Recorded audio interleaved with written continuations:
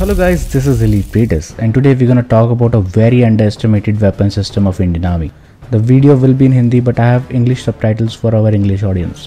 1987 में जब Indian para commando Sri Lanka में लैंड करते हैं for peacekeeping operation under operation Pawan तो उन्हें क्विकली एक ड्रिल कराई जाती है जिसमें उन्हें काल गस्तव जिसे इंडियन आर्मी में रिकॉयललेस या फिर 84 मिलीमीटर रॉकेट लॉन्चर भी कहते हैं उसको इफेक्टिवली यूज़ करना बताया गया।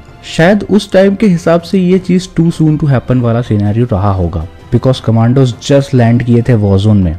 पर उन कमांडोज को बहुत जल्द ही ये पता चल गया कि 84 मिलीमीटर mm का साथ रहना किसी टैंक के साथ रहने से कम नहीं है। जब उनकी इनिशियल पेट्रोल पर ही एलटीटीई के लड़ाकों ने पहली बार हमला किया, तभी पैराज ने रिस्पॉन्ड करते हुए 10 सेकंड के अंदर तीन आरसीएल के राउंड्स उनकी तरफ़ फायर किए। उसके बाद जवाब में कोई फायरिंग नहीं हुई एल की तरफ़ से। 84 मिलीमीटर रिकॉयलेस राइफल जिसे काल गुस्तव भी कहते हैं, ये एक स्वीडिश वेपन है, जो पूरी दुनिया की सबसे इलीट फोर्सेस का फेवरेट वेपन है। ये पहली बार 1948 में सर्विस में आया, लेकिन आज भी ये कई इलीट यूनिट्स की पहली पसंद है। 84 मिलीमीटर की काबिलियत आप ये देख के जान सकते हैं कि इसे दुनिया की सबसे पावरफुल आर्मी की स्पेशल फोर्सेस की यूनिट तक कैरी करना पसंद करती हैं। Because of the level of firepower R C L brings to a small squad RCL जैसे मैन पोर्टेबल रिकॉयलेस गन और रॉकेट लॉन्चर्स ने वर्ल्ड वॉर टू में अपनी यूटिलिटी साफ़ दिखा दी थी। लेकिन अगर आप इसे रॉकेट लॉन्चर समझ के कंफ्यूज हो रहे हैं तो ऐसा नहीं है। ये रिकॉयलेस गन और रॉकेट लॉन्चर में एक बड़ा डिफरेंस होता है। रॉकेट लॉन्चर्स वो वेपन सिस्टम होते हैं जो अपना प्रोजेक्टाइल या गोला रॉकेट की मदद से टारगेट तक पहुंचाते हैं। जैसे कि आरपीजी जबकि रिकॉयलेस गन अपना गोला एक्सप्लोजिव चार्ज के थ्रू फायर करती है, जैसे कि काल गस्तव इसका मैकेनिज्म सेम टू सेम एक असॉल्ट राइफल की गोली जैसा है। वर्ल्ड वॉर टू के दौरान एक रिकॉयलेस गन ने अलाइड फोर्सेस की नाक में दम कर रखा था। ये था जर्मनी का पेंजर फोस्ट अकेले पेंजर फोस्ट ने 1500 प्लस से ज़्यादा ब्रिटिश टैंक को डिस्ट्रॉय किया। जो कि टोटल ब्रिटिश टैंक डिस्ट्रक्शन का 34 परसेंट था। In urban combat 70 percent tank kills panzer force के खाते में गए। अलाइड फोर्सेस ने बहुत कोशिश की जुगाड़ से प्रोटेक्शन लेने की फ्रॉम दिस वेपन सिस्टम जैसे कि लकड़ी के लॉक्स लगाना या फिर सैंडबैग्स लटकाना अपने टैंक के आसपास, पर कुछ भी काम नहीं आया। और यही सेम चीज़ हमें करंट सिनारियों में चल रही रशिया यूक्रेन कॉन्फ्लिक्ट में भी देखने को मिल रही है। वही पेंजर फोर्स जैसे shoulder fire anti tank weapon systems ने रशियन आर्मर्ड व्हीकल्स और कॉन्वॉयस को तहस नहस करके रख दिया है। पर इसका इंडिया से क्या रिलेशन है? वेल well, बहुत बड़ा। आइए समझते हैं। इंडिया हमेशा से दो फ्रंट वॉर के लिए खुद को प्रिपेयर कर रहा है। पर क्या हम इक्विपमेंट वाइज इस टू फ्रंट वॉर के लिए रेडी हैं? The answer is no Chinese और पाकिस्तानीज की कंबाइंड आर्मर्ड स्ट्रेंथ कुछ इस प्रकार है। चाइना के पास 5,250 टैंक्स 35,000 से भी ज़्यादा आर्मर्ड पर्सनल कैरियर हैं। जबकि पाकिस्तान के पास 2,824 टैंक्स और 9,950 से भी ज़्यादा आर्मर्ड पर्सनल कैरियर है। मैं मानता हूँ कि इसमें से काफ़ी टैंक ऑपरेशन नहीं होंगे जैसा कि हमने रशियन कॉन्फ्लिक्ट में भी देखा। कि उनकी टैंक फोर्स बहुत बड़ी थी लेकिन बहुत सारे टैंक उनके ऑपरेशनल नहीं थे। पर फिर भी इन दोनों की कंबाइंड टैंक की स्ट्रेंथ इंडिया की टैंक की स्ट्रेंथ से ज़्यादा रहेंगी। क्योंकि हम एक टू फ्रंट वॉर की तरफ़ देख रहे हैं इसलिए फोर्सेस बहुत ज़्यादा स्प्लिट अप रहेंगी इंडिया की। इंडिया के पास 4,614 टैंक्स हैं और अराउंड 12,000 आर्मर्ड पर्सनल कैरियर ये फिगर्स जो मैं आपके सामने प्रेजेंट कर रहा हूँ वो global fire power dot com से लिए गए हैं। आई डोंट नो उन्होंने कैसे कैलकुलेट पर फ़िलहाल अगर सिर्फ़ रेफरेंस के लिए भी ये नंबर्स ले लिए जाएँ तो टू फ्रंट वॉर में बोथ चाइना एंड पाकिस्तान हमारे टैंक्स को almost one is to two के रेशियो में आउट नंबर करते हैं। और एपीसी के मामले में ये figure one is to four के रेशियो तक जा सकता है। और जो काम पेंजर फोर्स ने अलाइड फोर्सेस के साथ किया था, वही काम इंडियन आर्मी का काल गस्तव कर सकता है। काल गस्तव एक बहुत ही अमेजिंग वेपन सिस्टम है जिसपे बहुत कम लोगों ने ध्यान दिया है। लेकिन इसकी कैपेबिलिटीज लिटरली माइंड और एनिमी का आर्मर ब्लो कर सकती है।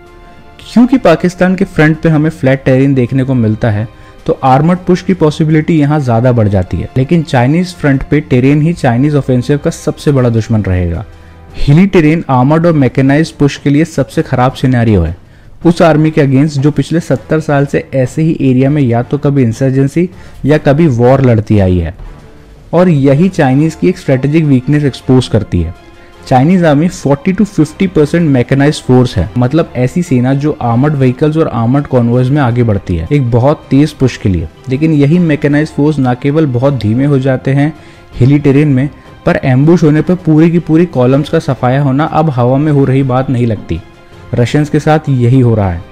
उनके कॉन्वॉयस को या तो आईडीज या फिर शोल्डर फायर्ड वेपन सिस्टम से अच्छी तरह काउंटर करा जा रहा है। इसी कॉन्फ्लिक्ट से रिलेटेड इंडियन आर्मी ने एक बहुत ही इंपॉर्टेंट स्टेटमेंट में साफ़ किया है कि वो रशिया यूक्रेन कॉन्फ्लिक्ट को बहुत क्लोजली ऑब्ज़र्व कर रहे हैं और उसके हिसाब से अपने टैक्टिक्स और स्ट्रेटेजीज इवॉल्व कर रहे हैं। मैक्रो लेवल पे स्ट्रेटेजीज चेंज हो सकती हैं, पर माइक्रो लेवल पे जैसे कि कंपनी या प्लेटून लेवल पे रिकॉयललेस राइफल का यूज़ चाइनीज़ को न केवल बहुत परेशान करेगा, पर इंडियन आर्मर्ड को भी काफ़ी रिलीफ पहुंचाएगा। काल गस्तव यहाँ पे बहुत ही इंपॉर्टेंट रोल प्ले करता है।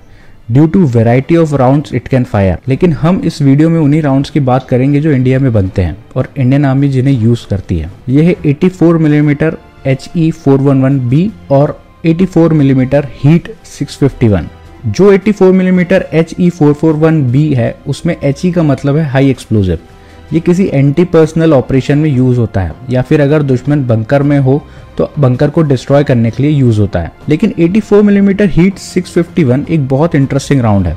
इसमें हीट का मतलब है high explosive anti tank round इसमें एक शेप चार्ज होता है जो राउंड के आर्मर्ड व्हीकल से टकराने के बाद एक्टिवेट होता है। High explosive anti tank round अपनी हाई वेलोसिटी की वजह से 400 मिलीमीटर mm तक के आमर को पेनिट्रेट कर सकता है। इसका मतलब एक काल गस्तव का राउंड अगर साइड से किसी टैंक पे लगे तो शायद दुनिया का सबसे एडवांस टैंक भी इमोबिलाइज हो जाए और टैंक क्रू को भारी नुकसान पहुँच सकता है। काल गस्तव ईस्टर्न फ्रंट पे बहुत इफ़ेक्टिव वेपन साबित हो सकता है। Due to its mobility, rate of fire और fire power it brings on the table. हम वेस्टर्न फ्रंट पर रिकॉयलेस राइफल का कमाल देख चुके हैं इन 1965 जब परमवीर कंपनी क्वार्टर मास्टर हवलदार अब्दुल हमीद साहब ने बैटल ऑफ़ असल उत्तर में अपनी रिकॉयलेस गन से नौ पाकिस्तानी टैंक्स को अकेले डिस्ट्रॉय कर दिया था, जब पाकिस्तानी उस समय के one of the best tanks operate कर रहे थे। और आज के टाइम पे सिचुएशन बिल्कुल ही अलग है। इंडिया ना केवल ग्राउंड फोर्सेस और इक्विपमेंट में सुपीरियोरिटी इंजॉय करता है पर स्पाइक और नाग जैसी बेहतरीन एंटी टैंक गाइडेड मिसाइल्स भी बहुत तेज़ी से इंडक्ट हो रही हैं और प्लेटून लेवल पे Carl Gustaf complementary firepower provide करता है to deal with the huge size of enemies armoured personal carriers और infantry fighting vehicles I hope आपको ये वीडियो इंटरेस्टिंग लगा होगा। काल गस्तव को डिटेल में समझना ज़रूरी था क्योंकि आई वॉज़ फीलिंग कि ये बहुत अंडर वेपन सिस्टम है। Please like share and subscribe and I will be meeting you in the next video with another interesting topic Elite Predators out. Jai Hind, thank you.